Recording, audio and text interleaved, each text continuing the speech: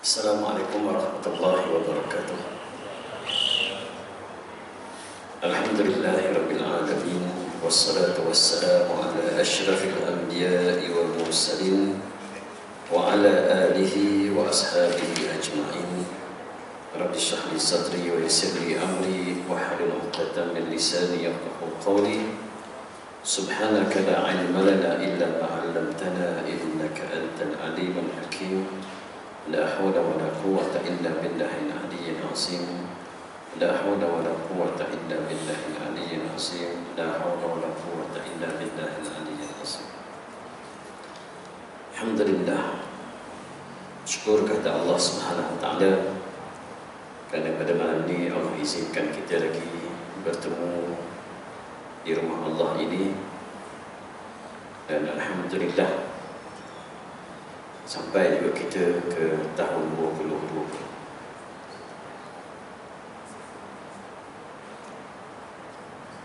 Semasa mula-mula diumumkan awasan 2020 Tak silap saya 20 Februari 1991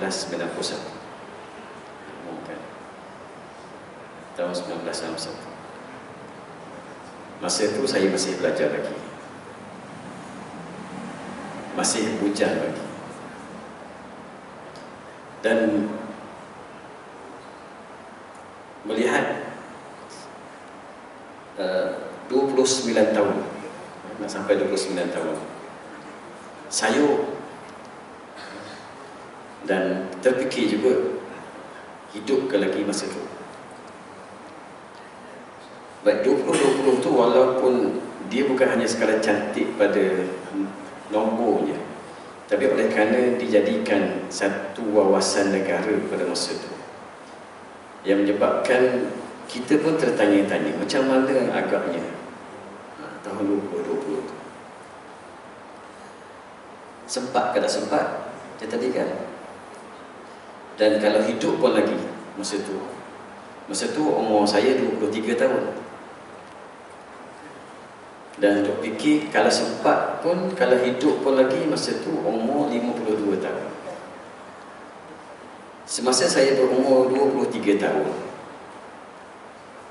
saya duk bayangkan orang yang umur 52 tahun ni dah tua dah. Sebab dia peringkat ayah saya. Masa tu ayah saya sikit. Lebih kurang umur tu lah. Saya umur 20 tiga ayah saya lebih kurang 52 53 gitulah lebih kurang. Atau 54 jadi dah nampak peringkat ayah nampak tua. Dan kita bayangkan kita pun dah tua dah masa tu. Tapi Alhamdulillah sampai juga. Dan bila sampai umur 52 ni tak rasa tua sangat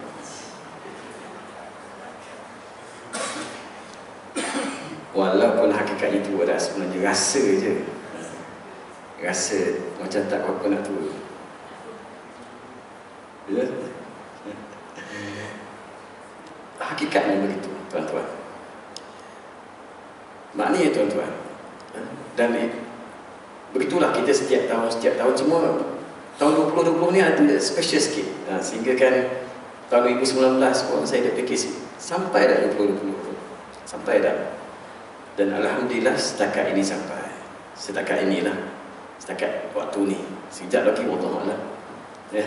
Sebab ni ada viral Yang Tuan Tok Syekh meninggal Setengah tazkirah kan Allah Allah Tak boleh itu Sebab pada Allah Subhanahu Wa Taala. Tapi setakat ini Allah Subhanahu Wa Taala masih bagi lagi umur. Allah masih panjangkan umur setakat ini. Dan kita semua tahu kan Maksud saya dan tuan-tuan dan puan-puan sekalian Sebab bila tuan-tuan dan puan-puan boleh dengar kuliah saya pada malam ini Maknanya Allah panjangkan umur kita lagi. Dalam bab panjang umur ni tuan-tuan Allah SWT ada berfirman dalam surah Fatir Sebagai peringatan untuk kita. Apa firman Allah SWT? Allah berfirman Awalam nu'ammirku Awalam nu'ammirkum. Apa maksud awal nu'ammirkum ini ialah dan tidakkah kami telah panjangkan umur kamu? Ataupun dalam masa yang mungkin nada yang lebih tepat lagi tidakkah kami telah panjangkan umur kamu? Tidakkah Allah dah bagi dah satu umur yang panjang? Ma yatazakkaru fihi man tazakkar. Yang mana pada tempoh tersebut yang Allah beri umur panjang itu dah cukup dah untuk sesiapa yang nak ambil peringatan untuk dia mengambil peringatan mana Allah kata tidakkah aku telah panjangkan umur kamu pada satu tempoh yang dah cukup untuk kamu mengambil peringatan Allah kata Waja'akumun nazir dan telah datang kepada kamu peringatan. Bermakna tuan-tuan, Allah SWT beritahu kita, Allah dah panjangkan umur kita. Untuk kita mengambil peringatan.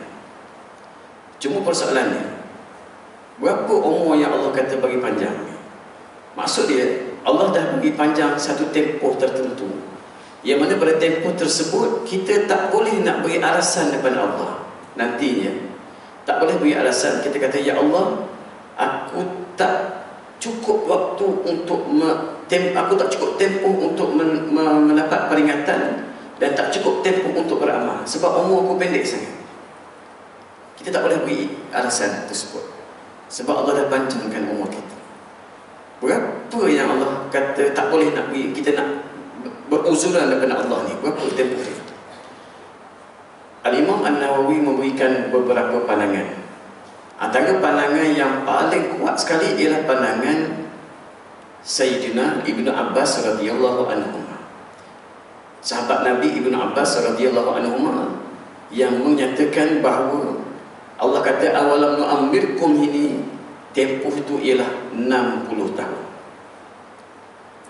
Apa saudara Ibnu Abbas? Saudara Ibnu Abbas ialah hadis Nabi sallallahu alaihi wasallam yang diriwayatkan daripada Abu Hurairah radhiyallahu anhu Nabi sallallahu alaihi wasallam sabda A'dzarallahu ila mri'in akhara ajalahu hatta balagha 60 sana Hadis riwayat Al-Imam Bukhari Nabi sallallahu alaihi wasallam bersabda Allah memberi keuzuran kepada seseorang itu apabila Allah Subhanahu taala tangguhkan ajalnya sehingga 60 tahun.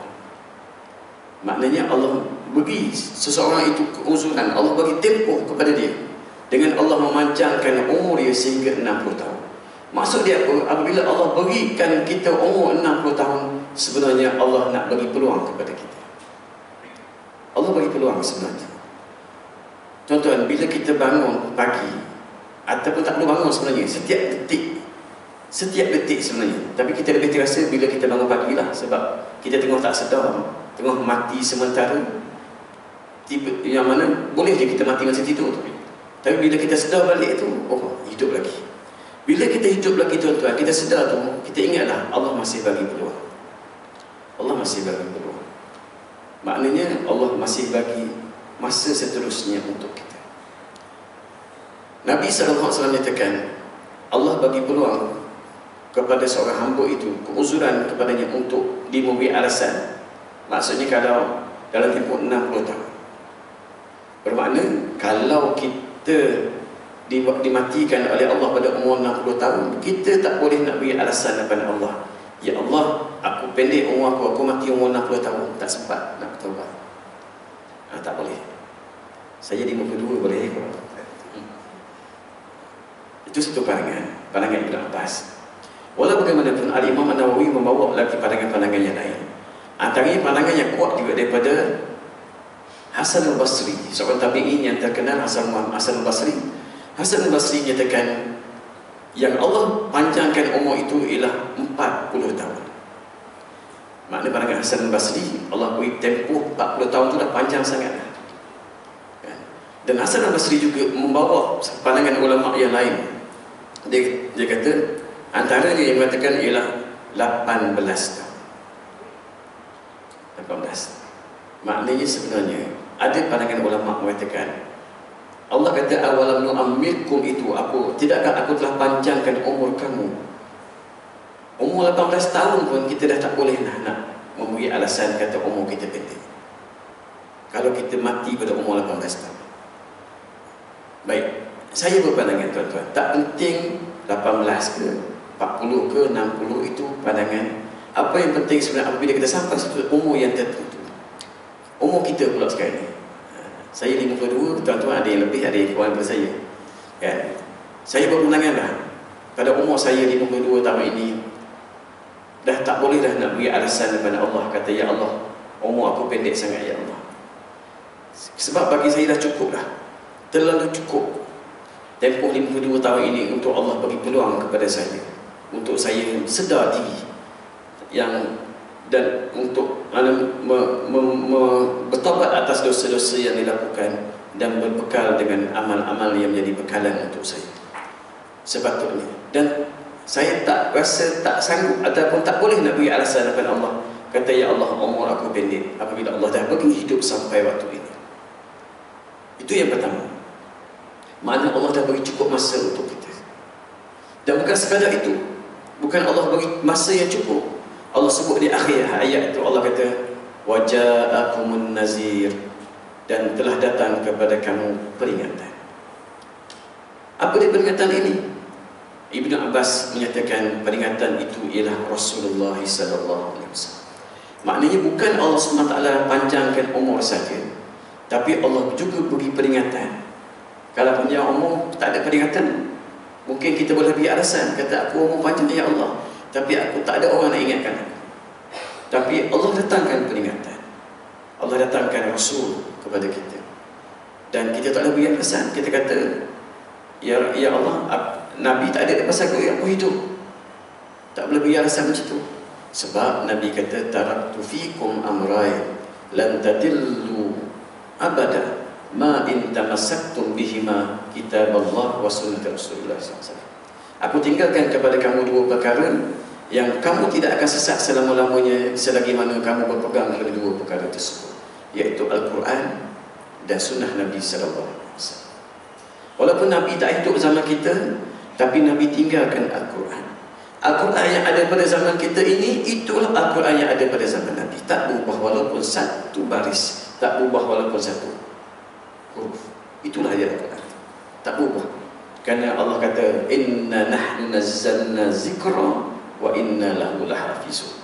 Kami yang turunkan az-zikra dan kamilah yang memelihara. Al-Quran yang Nabi yang turun pada zaman Rasulullah dan Al-Quran itulah yang masih kekal sampai hari ini. Dan Nabi tinggalkan kepada kita sunnah. Walaupun batang tubuh Nabi tak ada dalam kita, tapi semua perkara yang disyariatkan oleh Nabi sallallahu alaihi wasallam melalui tutur katanya perbuatannya, ikrarnya sampai kepada kita. Tak ada, tak ada alasan. Dan memang tidak ada keperluan para Rasulullah hidup sampai hari akhirat. Ya, kerana Nabi diutus di kalangan manusia. Kalau Nabi tak mati sampai hari akhirat, kita boleh beri alasan. Tak apalah Nabi bukan manusia, dia hidup selama-lamanya. Maknanya Nabi pun manusia, kita pun manusia. Sama saja. Maknanya kita kena ikut Nabi kerana Nabi juga manusia sebagaimana. Jadi kita tak ada nak beri alasan. Telah ada peringatan dan Nabi SAW menyatakan in al ulama warasatul anbiya. Al ulama mewaris pada Nabi yang menyampaikan peringatan-peringatan Rasulullah kepada kita. Itu satu pandangan yang mengatakan wajah Abu Nazri itu ialah Rasulullah wasallam. Pandangan yang kedua yang juga kuat yang menyatakan apa yang dimaksudkan dengan An-Nazir di sini? Sebagaimana yang diriwayatkan daripada Ikrimah bin Uyainah dia menyatakan An-Nazir di sini ialah Asyaibu iaitu uban. Ataupun kita nak sebut sebagai tanda-tanda ketuaan. Makna Allah SWT bukan hanya sekadar panjangkan umur kita tapi Allah beri peringatan kepada kita yang kamu tu dah tua. Allah dah beri peringatan Maknanya supaya kita sedar bahawa kita dah tua, dah cukup lama kita hidup untuk kita mengambil peringatan. Ikrimah kata uban. Macam saja kata tuan. Eh, uban di di jangkut dia dah penuh dah. Ya. Ditunggu satu satu satu dua dulu boleh dah gunting. Dah lama-lama dah penuh lagi. Tak boleh nak gunting dah. Ya. Allah luputkan gigi satu persatu. Allah bukukan rambut selai demi selai.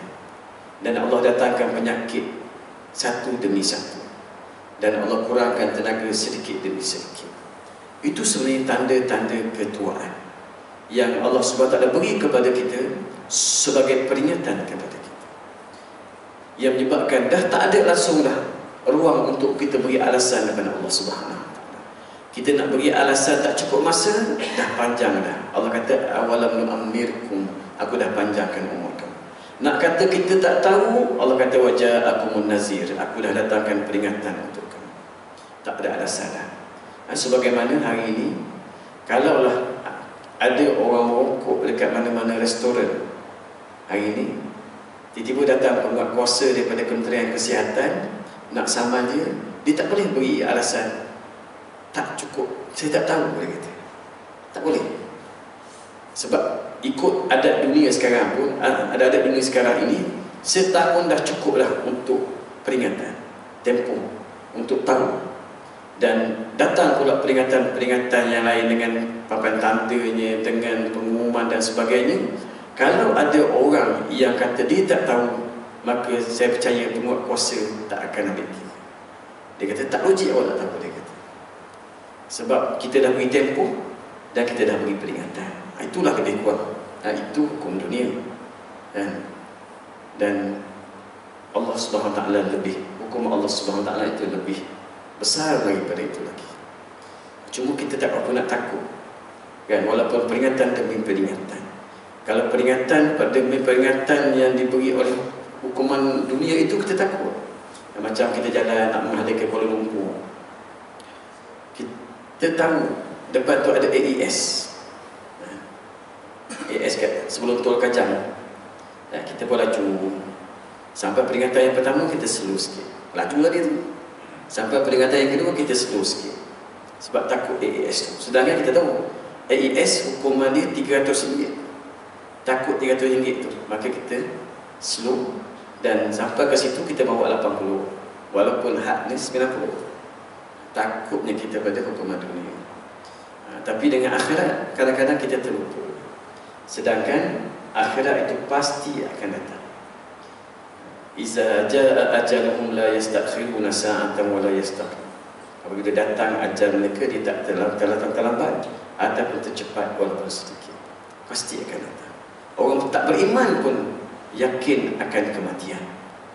Tanyalah orang siapa-siapa pun, orang kafir ke orang siapa-siapa, dia tanya semua akan mati. Cuma kita lebih kita kita bukan hanya sekadar kita beriman dengan kematian, tapi kita beriman selepas kematian itu ada kehidupan yang lain yang akan menentukan keadaan kita yang sebenarnya di sana dan kehidupan itu adalah kehidupan yang selama-lamanya dan kita mencari kebahagiaan dalam kehidupan tersebut. Tuan-tuan muslimin muslimat yang dikasihi oleh Allah Subhanahu wa taala. Diriwayatkan daripada Nabi sallallahu alaihi wasallam. Mana macam mana nak cerita bahawa apabila sampai umur yang lanjut ini saya sebenarnya saya, saya, yang saya bawa ni ialah satu bab daripada kitab Riyadhus Salihin yang tajuk dia Al-Hazm ala al-Izdiyad fil khair fi awakhir galakan untuk menambahkan ibadat pada akhir-akhir umur maksudnya semakin lanjut umur maka sepatutnya semakin banyak amalan. Dan kita tak tahu. Bukanlah masa tu tak masih tua. Tapi sepatutnya semakin bertambah umur sepatutnya semakin bertambah amalan. Kerana kehidupan kita ni tuan-tuan dia seumpama perjalanan daripada satu noktah kepada noktah yang satu lagi noktah permulaan kita ialah tarikh kelahiran kita dan noktah pengakhiran kita ialah tarikh kematian kita. Kita tak tahu tarikh kematian kita itu bila. Tapi yang penting kita sedang berjalan. Berjalan, berjalan, berjalan semakin menghampiri noktah kematian tersebut. Dia bukan semakin jauh, dia semakin menghampiri. Kalau kita tengok, kalau kita boleh bayangkan, kalau tuan-tuan biasa panggil kerek, tuan-tuan kita akan tengok dekat handphone kita tu, kat mana grab itu mula bertolak dan kita tengok perjalanan grab tu. Sikit demi sikit demi sikit dia menghala ke tempat kita. Kita panggil kat rumah rumah lah. Eh, kalau kita panggil grab kita kat rumah dia akan nampak oh dekat dah dekat dah.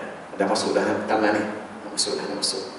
Itu grab kita nampak macam itulah perjalanan hidup kita sebenarnya dia bergerak bergerak bergerak menuju nokta akhir tapi kita tak tahu nokta akhir itu kat mana apa yang penting tuan-tuan perjalanan hidup kita ini sebenarnya semakin hari semakin menghampiri noktah terakhir itu. Dan kita tak tahu. Banyak hikmah dia Allah tak Allah sembunyikan. Kerana kalau Allah beritahu kita, mungkin kita jadi lebih ingkar kepada Allah Subhanahu Apabila seorang tahu tarikh kematian dia, mungkin dia akan jadi lebih ingkar kepada Allah. Kalau kita tahu kita nak mati setahun lagi, maknanya ada masa banyak bagi kita untuk bertobat. Jadi kita boleh lihat kan?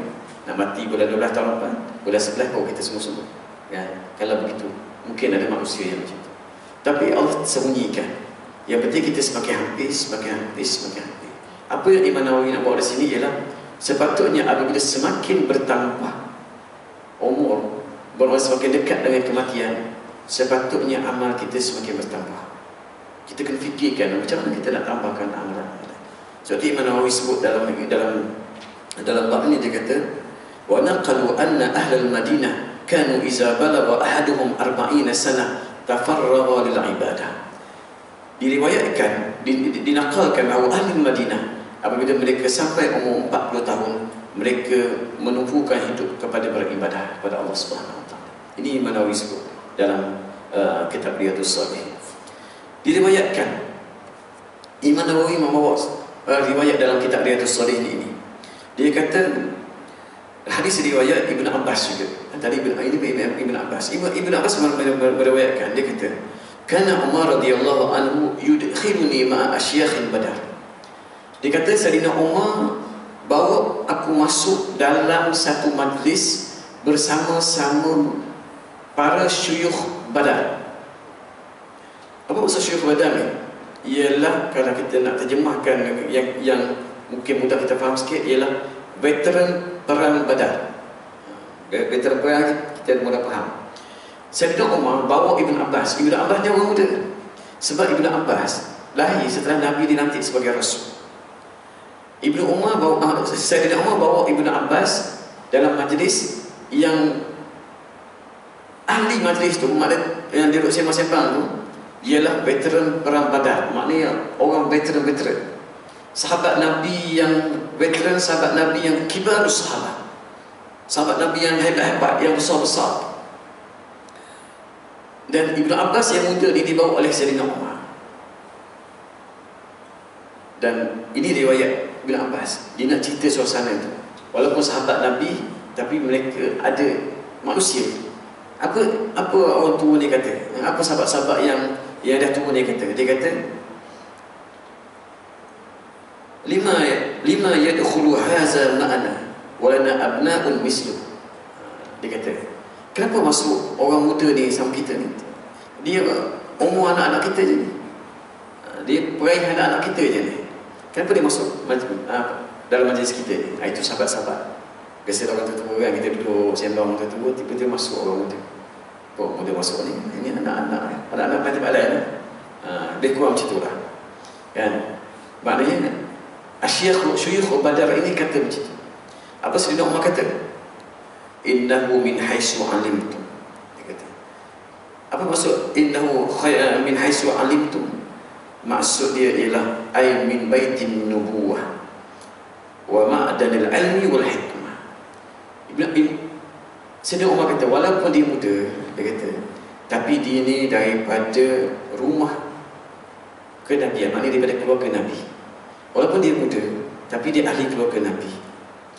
Dan dia adalah Sumber ilmu dan hikmah. Sumber ilmu dan kebijaksanaan. Itu Ibn Umar kata Kenapa dia bawa Walaupun Ibn Abbas muda Kenapa dia bawa sama dengan Veteran padar ini? Walaupun dia muda Tapi dia hebat. Dan macam mana Sayyidina Umar Nak tunjukkan kehebatan Ibn Abbas ni Sayyidina Umar tanya kepada veteran badar ini. Orang, orang hebat Sahabat-sahabat yang yang yang yang yang lama ni Sayyidina Umar tanya. Dia kata, "Apa kamu? Apa pandangan kamu kepada firman Allah? Iza jaa iza jaa nasrullahi wal fath wa ra'aitan nasa yadkhuluna fi dinillahi afwaja fasabbih bihamdi rabbika wastaghfir. Apa pandangan kamu? Sayyidina Umar kata.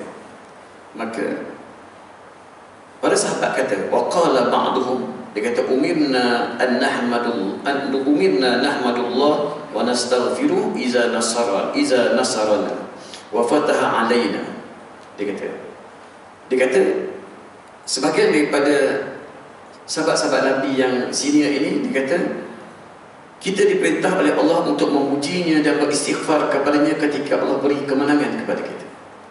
Sebab itu iza jaa nasrullahi wal fath wa ra'aitan nasa yadkhuluna fi dinillahi afwaja fasabbih bihamdi rabbika wastaghfir.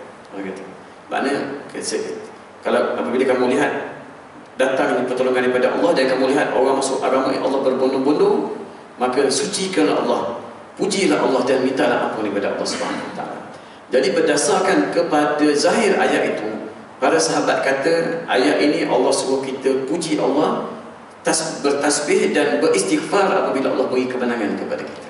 Itu sahabat-sahabat perang Badar kata. Dan Sayyidina Umar kata pada Sayyidina uh, pada Ibn Abbas, dia kata, "Akadzalika taqul ya Ibn Abbas?" Dia kata, "Itukah juga pandangan kamu ya Ibn Abbas?" Dia tanya Ibn Abbas. Apa Ibn Abbas kata? "La." Kata, "Tak, aku tak aku tak berpandangan begitu." Apa Ibn Abbas kata? Dia kata, "Huwa ajalu Rasulillah a'lamuhu lahu qala wa iza jaa nasrullahi wal fath wa dhalika alamatu ajalik Ibn Abbas kata apa maksud iza jaa nasrullahi wal fath ini Ibn Abbas kata ialah iza jaa nasrullahi wal fath ini ialah sebenarnya Allah nak beritahu kepada Rasulullah ini adalah tanda ajal kamu Maksudnya Abbas kata di sebalik turunnya ayat Iza ja'a nasrullahi wal fath ini Allah nak beritahu Rasulullah bahawa ini adalah tanda-tanda kematian. Mana Nabi tahu bila turunnya ayat ini sebenarnya ini tanda-tanda kewafatan baginda. Sebab itu diriwayatkan Nabi sallallahu alaihi wasallam bila turun saja iza ja'a nasrullahi wal fath Nabi sallallahu alaihi wasallam sebagaimana yang diriwayatkan daripada Aisyah radhiyallahu anha Aisyah berkata ma salla Rasulullah sallallahu alaihi wasallam salatan ba'da an nazalat alaihi idza jaa nasrullah wal fath illa yaqulu fiha subhanaka rabbana wa bihamdik Allahumma ighfirli hadis riwayat al-Imam al-Bukhari dan Imam Muslim Sayyidina Aisyah menyatakan Nabi SAW setelah turunnya ayat Iza ja'a nasrullahi wal fath ini Nabi tidak sembahyang kecuali Nabi sebut dalam solat dia Subhanaka Rabbana wa bihamdik Allahumma ghafirli Nabi sebut dalam solat dia. Nabi tambah amalan dia dengan dengan amalan ini. Nabi tambah. Menunjukkan Nabi SAW apabila datang tanda-tanda ajalnya Nabi menambah amalnya. Nabi menambahkan tasbihnya. Nabi menambahkan pujiannya kepada Allah dan Nabi menambahkan istighfarnya kepada Allah Wa Itu Nabi. Apabila datang ada yang tanda-tanda dah dekat dengan kematian itu, Nabi wasallam menambahkan amal. Apa apa yang Nabi tambahkan? Sebagaimana yang diriwayatkan oleh Aisyah tadi, Nabi sallallahu alaihi wasallam setelah turunnya ayat iza jaa nasrullahi wal fath itu, Nabi membaca Subhanaka Rabbana wa bihamdik Allahumma ghafirli Dan dalam riwayat Daripada Sahihain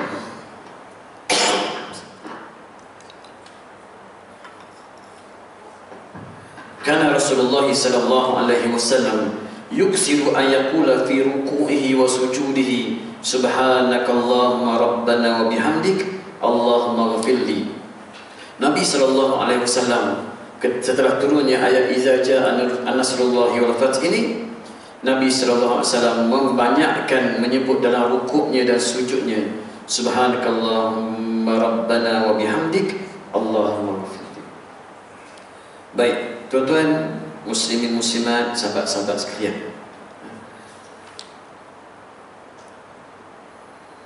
Nabi sallallahu alaihi wasallam bersabda dalam hadis yang lain. Daripada Jabir radhiyallahu anhu qala qala an-nabi sallallahu alaihi wasallam yub'asu kullu 'abdin 'ala ma mata 'alaihi. Rawahu muslim Nabi menyatakan akan dibangkitkan setiap hamba itu atas keadaan bagaimana dia mati. Saya ulang balik. Nabi SAW bersabda, Yub'asu kullu abdin ala ma, ma ala ma mata alaihi. Seorang hamba itu akan dibangkitkan dalam keadaan dalam bentuk bagaimana dia mati. Keadaan dia mati. Maknanya kalau dia mati dalam keadaan salih, maka dia akan dibangkitkan dalam keadaan yang baik. Apa syarah kepada hadis ini? Daripada Dr. Farouk Hamadah ni dia kata, faman mata ala ta'ah ba'asahu Allah 'alaiha Bahawa siapa yang mati datang dia dalam ketaatan Allah bangkitkan dia dalam keadaan ketaatan mana Allah bangkitkan dia sebagai seorang yang baik wa man mata 'ala al-ma'siyah ba'asahu Allah 'alaiha dan bagi siapa yang mati dalam keadaan maksiat Allah akan bangkitkan dia dalam keadaan tersebut hadal hadis dia kata fi hadal hadis hadis ini ia dia kata tahridul insan ala husnil amal wa mulazamatu sunnah fi sa'ir ahwal wal ikhlas lillahi ta'ala fil aqwal wal a'mal liyamuta ala tilkal hala alhamidah fayub'asu alaiha. Hadis ini menggalakkan kita supaya kita beramal dengan amalan yang baik dan melazimi sunnah dalam setiap keadaan dan seluruh hidup kita sehinggalah kita mati dalam keadaan tersebut untuk kita dibangkitkan dalam keadaan tersebut. Apa maksud itu tuan-tuan? Maknanya kita ni sebenarnya kena sentiasa memperbanyakkan amal kita. Memastikan kehidupan harian kita kehidupan yang baik. Supaya kalau bila-bila masa saja kita akan mati Kita akan mati dalam keadaan yang terbaik. Dalam keadaan yang baik. Dan bagaimana? Orang tu mati Allah akan bangkitkan dalam keadaan bagaimana dia mati. Dan kalau kita sentiasa melazimi kebaikan Insya Allah kita akan mati dalam kebaikan Dan kita bimbang dan kalau kita melakukan perkara yang tak baik, na'udzubillah min zalik. Allah tak ditakdirkan kita mati dalam keadaan tersebut. Ada hadis lain yang Nabi sallallahu menyatakan ada hamba yang beramal dengan amalan ahli syurga sehingga tidak ada jarak antara dia dengan syurga itu kecuali sejengkal dan akhirnya dia beramal dengan amalan ahli neraka dan dimasukkan ke dalam neraka. Nauzubillah. Dan ada juga hamba yang beramal dengan amalan ahli neraka sehingga tidak ada jarak antara dia dengan neraka itu kecuali sejengkal dan akhirnya dia beramal dengan amalan ahli syurga dan akhirnya dia masuk dalam syurga Allah Subhanahu kita tak tahu tuan-tuan sebab yang kita beritahu tadi di mana pengakhiran kita bila pengakhiran kita bagaimana pengakhiran kita apa yang penting kita kena bersedia pada bila-bila masa berusaha menambah amal kita supaya kita sentiasa berada dalam keadaan yang sentiasa baik. Dan kita kena fikirkan macam mana aku nak tambah amal sama ada dalam bentuk ibadah khususiah solat kita kalaulah kita ada solat solat sunat yang kita buat sebagai tambahan kepada yang wajib kita kena tambah. Dan sebagaimana yang sebenarnya saya sebut di sini tuan-tuan antara amalan sunat yang seharusnya kita usahakan untuk tak tinggalkan ialah solat witir. Ha, kerana Nabi SAW tak tinggal solat witir setelah dia disyariatkan. Dan sekurang-kurang witir itu ialah satu rakaat. Dan sebanyak-banyaknya ialah sebelas rakaat. Dan witir adalah solat sunat yang paling afdal sekali. Diikuti dengan solat sunat dua rakaat sebelum subuh. Yang Nabi kata rakaat ini rakaat ini fajri khairu min dunia wa ma fiha dua rakaat sebelum subuh. Lebih baik dari dunia dan apa yang ada padanya. Dan ikuti dengan solat-solat sunat yang lain. Maknanya kita cuba tambah. Ha, kalau kita dah buat witir satu rakaat kita tambah dua rakaat tiga rakaat. Dapat tiga tambah lima. Kan? kalau kita agak-agak tak mampu buat ketika tahajud kita buat selepas solat isyak. Kalau ditakdirkan kita tersedar nantinya untuk kita bertahajud tak apa teruskan solat sunat dua rakaat dua rakaat rakaat tanpa membuat witir Mari kita fikirkan apa amalan kita yang yang untuk kita tambahkan. Tilawah kita kita fikirkan sekurang-kurangnya biarlah mata ini melihat ayat-ayat Allah Subhanahu Taala. Dan kalau boleh kita lazimi zikir-zikir yang maksur, yang zikir-zikir yang kita tambahkan. Kalau maksurat tu dia ada yang sughra yang kubra, usahakan untuk kita beramal dengan yang kubra. Mana tak lama mana juga sebenarnya kita tambah, tambah dan tambah. Itu sudah amalan khususiah. Hubungannya darat kita dengan Allah Subhanahu Taala. Dan kita juga fikirkan bagaimana kita nak tambah amal-amal yang berkaitan dengan hubungan kita dengan manusia. Kerana Islam bukan hanya sekadar hubungan dengan Allah, juga hubungan dengan manusia dan Allah suka sangat orang yang buat baik dengan manusia. Allah suka sangat orang yang memberi manfaat kepada manusia. Khairun nas anfa'uhum lin nas. Sebaik-baik manusia ialah sebaik-baik orang yang paling bermanfaat untuk manusia. Maknanya apa yang kita nak berikan sumbangan untuk masyarakat? Apa yang kita nak beri sumbangan untuk komuniti kita? Kalau kita ada kelebihan duit dalam bentuk keuangan ataupun tenaga ataupun apa-apa saja yang kita boleh berikan. Maknanya kita bersama dengan masyarakat berletihan dengan bermasyarakat tak apa. Itu adalah amal-amal kita pada usia usia akhir usia kita. Mana kita menambahkan amal kita dan bukan kita mengurangkan amal kita. Kerana berdasarkan ayat Al-Quran dan hadis-hadis yang saya nyatakan tadi Nabi SAW membanyakkan amal baginda di akhir akhir usia baginda jadi begitulah kita tambahkan amal kita dengan kita sentiasa bermuhasabah adakah amalku ini amal yang diterima oleh Allah Subhanahu Taala kerana ulama meletakkan dua syarat untuk amal amal amal itu diterima Itulah amal itu hendaklah menepati syariat Allah Subhanahu Taala sebagaimana dibawa oleh Rasulullah sallallahu alaihi wasallam. Yang keduanya ialah amal itu hendak dilakukan ikhlas kerana Allah Subhanahu Taala. Mengikut syariat, bagaimana kita nak tahu dia mengikut syariat atau tidak? Pastikan dia menepati. Kita belajar melalui uh, alim ulama bagaimanakah amalan yang menepati syariat Allah Subhanahu Wa Taala. Bagaimana kita nak menjaga hati kita supaya ikhlas? Di sinilah kita kena mujahadah mujahadah fikir ya Allah kalau ada tanda-tanda tak apa ikhlas kita kena lawan kan? apa ulama kata antara tanda-tanda ikhlas itu antara tanda-tanda ikhlas itu ialah apabila kita tidak terkesan dengan pujian manusia dan juga tidak terkesan dengan celaan manusia kalau orang puji kita tak menambahkan langsung apa-apa pada kita. Kalau orang nak puji kita pun tak ada apa kita dapat sebenarnya. Orang nak puji kita rajin tahajud Orang nak puji kita baca Quran Tak ada apa pun. Pujian manusia. Kita mengharapkan pujian daripada Allah Taala. Maknanya Orang yang ikhlas insya Allah Orang tidak ada kesan pada pujian manusia Orang puji dia ke Dia tak rasa. Dia tak tak, tak rasa pun seronok sangat. Dan tidak juga terkesan kepada celaan manusia Kalau manusia cela dia Manusia marah dia Manusia kita Dia tak Dia tak beri kesan pada dia Sebab yang, yang ditakutkan ialah Celaan Allah Subhanahu Taala muka Allah Subhanahu Wa Taala. Kalau orang nak marah dia atas sebab-sebab yang tertentu dia tak tak risau sangat. Kerana yang dia nakkan ialah pujian daripada manusia dan yang ditakutkan ialah muka daripada Allah Subhanahu Wa Taala.